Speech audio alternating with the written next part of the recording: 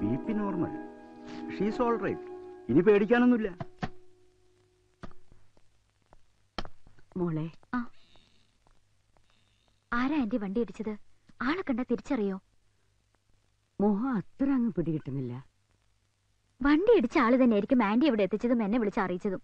ഞാൻ ആളെ വിളിച്ച് ശരിക്കും ഫയർ ചെയ്തിട്ടുണ്ട്. എന്ത് അബദ്ധമാ മോൾ കാണിച്ചത്? ആ കുട്ടി കാരണമാ ഞാൻ ഇപ്പൊ ജീവനോടെ ഇരിക്കുന്നത്. ആരും തിരിഞ്ഞു നോക്കാതെ പോയപ്പോ എന്നെ ഹോസ്പിറ്റലിൽ എത്തിക്കാൻ ആ കുട്ടി കാണിച്ച ധൈര്യവും സ്നേഹവും സ്വന്തക്കാർ പോലും കാണിക്കില്ല. നന്ദി പറയേണ്ടടുത്ത് ചീത്ത വിളിക്കുക. സോറി ആന്റി സോറി എന്നോടല്ല ആ കുട്ടിയോടാണ് പറയേണ്ടത്.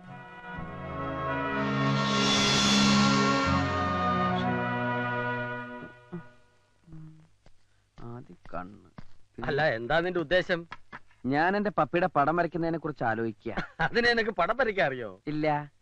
ഇതിനു മുമ്പ് വരച്ചിട്ടുണ്ടോ? ഇല്ലേ ഇല്ല. പിന്നെ എങ്ങനെ വരയ്ക്കും? അതല്ലേ എങ്ങനെ ഒരു ചിത്രം വരയ്ക്കാം എന്നതിനെ പറ്റി ആലോചിക്കുന്നത്? അനിയൻകുട്ടി ഈ കൊലക്കുറ്റത്തിന് എന്താ ശിക്ഷ? ചുരുങ്ങിയത് ഒരു പത്ത് വർഷം. അപരാധി എവിടെയോ സന്തോഷിച്ച് നടക്കുമ്പോ നിരപരാധി ശിക്ഷയും കാത്ത് കിടക്കുന്നു. പാവം. ആ വണ്ടി ഇടിച്ചവന്റെ തല പൊട്ടിത്തെറിക്കണ എന്റെ പുണ്യ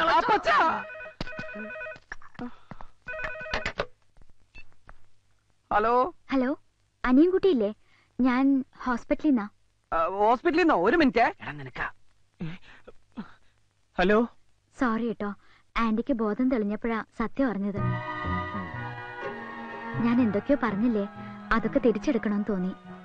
പറഞ്ഞ വാക്കുകൾ തിരിച്ചെടുക്കാൻ പറ്റുമോ? പറ്റില്ലെന്നറിയാം. എന്നാലും അതിനി മനസ്സിൽ വെക്കരുത്. സോറി. Sorry for everything. ക്ഷമിച്ചു എന്ന് പറഞ്ഞൂടെ? അത് ചുമ്മാതാണെങ്കിലും ഒന്ന് പറ. എന്റെ ഒരു ആശ്വാസത്തിന്. ആ ക്ഷമിച്ചു. എന്താ ചിരിച്ചത്? ഒരു ആത്മാർത്ഥതയില്ലാത്ത പറച്ചിൽ കേട്ട് ചിരിച്ചതാ. അത് പിന്നെ പെട്ടെന്ന് വിളിച്ച സോറി പറഞ്ഞപ്പോ വിശ്വസിക്കാൻ പറ്റുന്നില്ല. അതുകൊണ്ടാ. ഞാൻ ക്ഷമിച്ചു. എന്നാ വെച്ചേക്കട്ടെ. പിന്നെ വിളിക്കാം. ഇനിയും വിളിക്കോ? എന്താ? വിളിക്കുന്ന ഇഷ്ടല്ലേ വിളിക്കുന്നത് ഇഷ്ടാന്നാ പറഞ്ഞേ.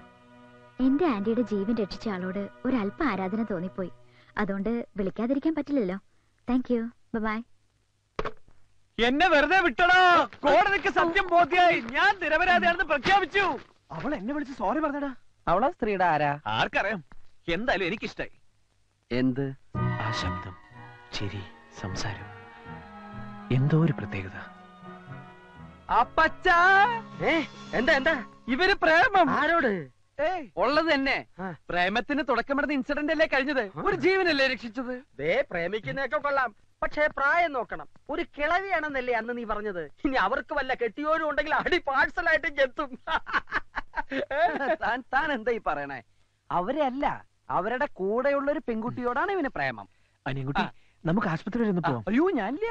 നീയും കൂടെ വരണം ഒരു ധൈര്യത്തിന്. നീ എന്ത് പറഞ്ഞാലും ശരി ആശുപത്രിയിലേക്ക് ഞാൻ വരില്ല. വണ്ടി ഇടിച്ച് ലെവൽ തെറ്റ സ്ത്രീയാ. ചെലപ്പോ എന്നെ കണ്ട ഞാനാണ് വണ്ടി ഇടിച്ചതെന്ന് വരെ പറഞ്ഞെന്നിരിക്കും. ചെയ്യാത്ത കുറ്റാൽക്കാൻ എന്നെ കിട്ടില്ല. ഞാൻ വരില്ല. അവർക്കൊന്നും പറ്റിയിട്ടില്ലെന്ന് ഡോക്ടർ പറഞ്ഞു.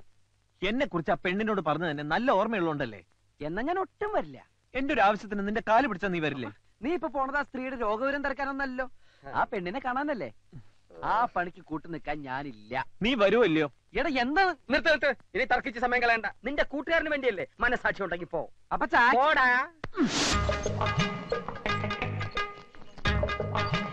ഞാനിവിടെ ഇരുന്നോളാം. നീ പോയിട്ട് വാ. അതെന്താ?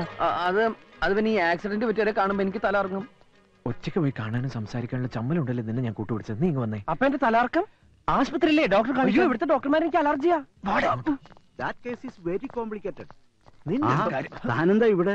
ഇന്നും വല്ല ആക്സിഡന്റ് പാർട്ടിയുമായിട്ട് എത്തിയതാണോ? ഏ അല്ല. ഇതിലെ പോയപ്പോ ആ ആന്റിയുടെ വിവരം തിരക്കിട്ട് പോവാന്ന് അവർ ഡിസ്ചാർജ് ചെയ്തല്ലോ. സമാധാനായി. എപ്പോ? ഒരു മണിക്കൂറായി കാണും. ഛേ, കഷ്ടായിപ്പോയി. അവളൊന്ന് കാണുന്നുണ്ടായിരുന്നു കണ്ടിട്ട് കാണാതെ എങ്ങനെയാ ശബ്ദം മാത്രല്ലേ കേട്ടുള്ളൂ. മനസ്സിലായി. സുന്ദരിയാണോന്ന് അറിയാനല്ലേ. വഴിയുണ്ട്. ഡോക്ടർ? അതെ ഒരു കാര്യം അറിയാനാ. ആ. സ്ത്രീയുടെ കൂടെ ഒരു പെൺകുട്ടി ഇല്ലായിരുന്നോ? ഒരു കാന്താരി. അതിനെ കണ്ടാൽ എങ്ങനെയാ അല്ല ഈ ഫിഗറൊക്കെ ഓക്കെ ആണോന്ന് അറിയാൻ വേണ്ടി. എന്തിനാ? അവന് വേണ്ടി ആലോചിക്കാനാ.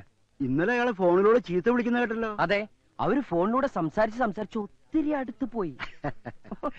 പെണ്ണ് കാണാൻ മിടു പിടിക്കുക ആണ്? താങ്ക് യു ഡോക്ടർ എടാ പെണ്ണ് അടിപൊളിയാണെന്ന്. നീ ധൈര്യമായിട്ട് പ്രൊസീഡ് ചെയ്യടാ.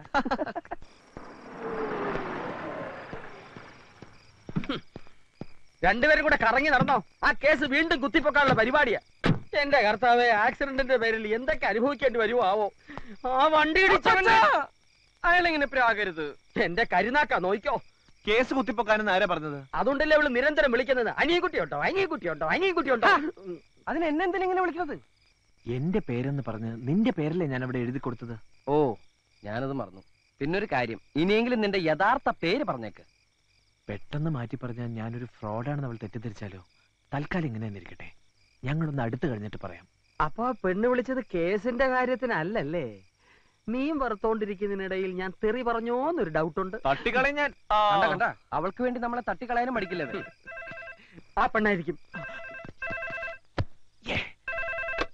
ഹലോ? ഹലോ? ആന്റി ഡിസ്ചാർജ് ചെയ്തു. ഇത് പറയാൻ ഞാൻ മൂന്നോട്ടം വിളിച്ചിരുന്നു. ഞാൻ ഹോസ്പിറ്റലിൽ വന്നിരുന്നു. ആന്റി? ബെഡ് റെസ്റ്റിലാ പിന്നെ? ഏയ് ഒന്നുമില്ല. എന്തോ പറയാമെന്നല്ലോ അത് പിന്നെ എന്താ പേര്? എന്താ ചിരിച്ചേ? ഇത്രയും പരിചയപ്പെട്ടിട്ട് ഇപ്പഴാ പേര് ചോദിക്കുന്നത് അത്ര നല്ല പേരൊന്നുമല്ല. എന്നാലും പറയാം. പത്മജ. പത്മജ വാര്യർ. പത്മജ വാര്യർ. എന്തേ? ഇഷ്ടായില്ലേ? ഇഷ്ടായി. പേരിഷ്ടായിന്ന്. തന്റെ പേരും എനിക്ക് ഇഷ്ടായി കേട്ടോ. വച്ചേക്കട്ടെ. ഗുഡ് നൈറ്റ് എന്താടാ അവൾ പറഞ്ഞേ? പേര് പറഞ്ഞു. ഇത്രയും നേരം പേര് പറഞ്ഞു കളിക്കായിരുന്നോ? എന്തായാലും അവൾക്ക് നിന്നോട് എന്തോ ഒരു ഇതുണ്ട് അതുകൊണ്ട് ഇടക്കിടക്ക് വിളി. അപ്പൊ നിനക്ക് വിഷയം പറയാറില്ലേ? എന്ത് വിഷയം? ബയോളജി എടാ നിന്റെ പ്രേമം അവളെ അറിയിക്കണ്ടേ? അതെങ്ങനെ പറയാ? നീ നീ അവളെ വിളിച്ചേ. ഇനിയും വിളിച്ച തെറ്റിദ്ധരിക്കില്ലേ? തെറ്റിദ്ധരിക്കണം. നിനക്ക് പ്രേമമുണ്ടെന്ന് അവൾ അറിയണം. അതെ. നാണിച്ചോണ്ടിരിക്കാതെ വിളിക്കുന്നുണ്ടോ?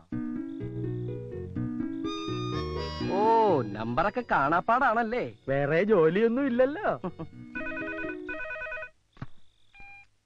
ഹലോ എനിക്ക് തോന്നി അനിയൻകുട്ടി ആയിരിക്കും അതെന്താ അങ്ങനെ തോന്നിയത്?